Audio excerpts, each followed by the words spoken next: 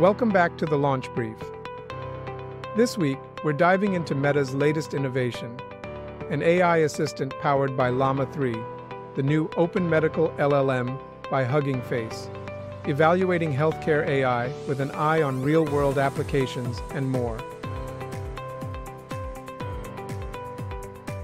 First, Meta just rolled out a shiny new version of its AI assistant, powered by Llama 3, which is basically a super smart AI model that's even better at tasks like coding than previous versions.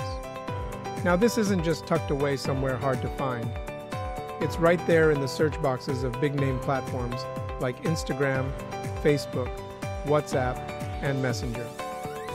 Plus, for the first time ever, you can access it through its own dedicated website, meta.ai. Llama 3 is a big deal in the AI world. It's smarter, performs better, and is more user-friendly for both regular folks and developers. Meta has started by releasing two smaller versions of Llama 3 and has plans to unveil a bigger, even more powerful version soon. This upgrade isn't just about keeping up. It's about making Meta AI a top contender on the global stage, with an assistant that anyone, anywhere can use for free. This new rollout isn't stopping at just being in your search bar. It's going global, with plans to bring it to more English-speaking countries. It's got some cool new tricks too, like creating images on the fly and pulling up real-time search results from big engines like Bing and Google, all designed to make your online interactions smoother and more engaging. Meta's big push into AI shows it's serious about making its platforms smarter and more accessible to everyone, everywhere. With Llama 3, Meta is not just following trends, but aiming to set them, focusing on making AI that's powerful and useful in everyday life, while keeping an eye on making things right and ethical. It's all part of their grand plan to lead the way in AI development and use making sure their tech not only works well, but also plays well in the real world.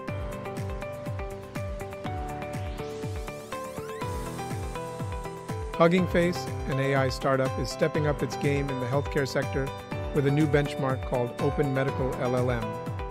This new tool, created together with Open Life Science AI and the University of Edinburgh, pulls together various test sets, like MedQA and PubMedQA, to measure how well AI models can handle medical info across fields like anatomy and pharmacology. It's designed to give a clear picture of AI performance in healthcare settings, but experts are advising caution. They point out that what works in a test setting doesn't always pan out in real-life medical situations. The debate over AI's role in healthcare is heating up, fueled by concerns about risks and biases that could potentially harm patients. To date, the FDA hasn't approved any of the 139 AI-related medical devices for use if they involve generative AI, signaling a cautious approach in the medical field. Open Medical LLM is an important first step in sorting out which AI technologies might be up to the task of healthcare, but it also underscores the huge need for thorough real-world testing to really grasp these tools' strengths and limitations.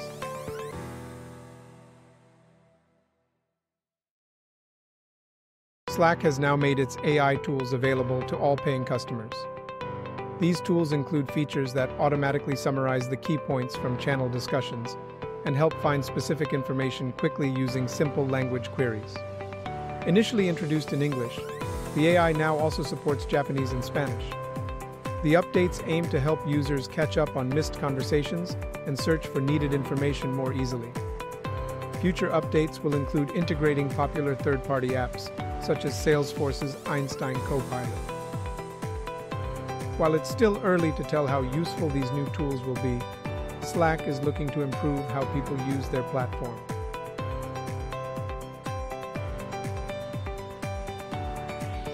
Zendesk is enhancing its customer service technology with the introduction of Agent Copilot and other AI-driven tools to boost the efficiency and quality of customer interactions. Agent Copilot assists human agents by learning from previous interactions to streamline workflows and predict customer needs. leading to quicker and more accurate responses. This initiative is part of a broader rollout that includes features like personalized intents for a deeper understanding of customer needs, advanced AI tools for building knowledge bases,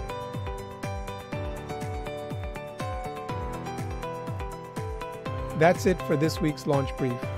We hope you found these updates interesting. Let us know your thoughts in the comments below, and don't forget to subscribe for your weekly dose of tech news. Until next time, stay curious and keep exploring the amazing world of tech.